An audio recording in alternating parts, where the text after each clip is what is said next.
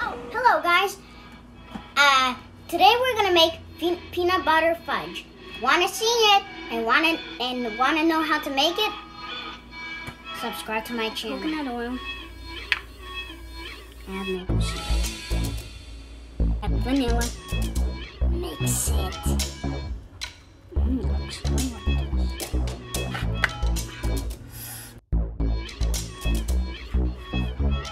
freeze it. I hope it's gonna be good. Subscribe to my channel because then you'll get the tasting. Mm.